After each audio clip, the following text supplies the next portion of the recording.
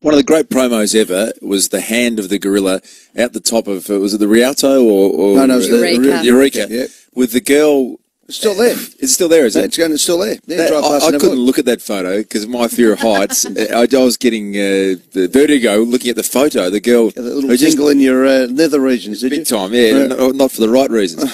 she uh, she had this the tiniest little harness, so just sitting out there, Mm. I could not have think anything worse. I'd like to do. What a great promo that is for for King Kong. Get Adam Goodes down for it, do you reckon? No, I No? wouldn't have thought so. Or you absolutely no.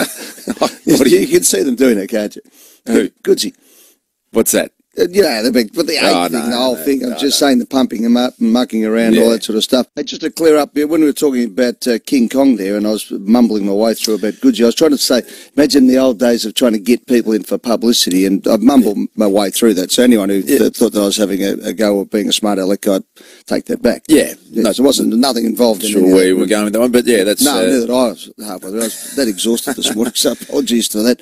But uh, I was Don't think you thinking, I was, I was uh, thinking, no, but I was thinking, you know, in the old days, in these situations, you, the publicity and all that type Yeah. of thing and all that. Sort anyway, so I was off, off on a tangent somewhere. don't think you need to declare your bona fides on Oh, that no, one. I but think right. But, just, but just in case people are thinking, what the hell's he on about? I've got no idea either.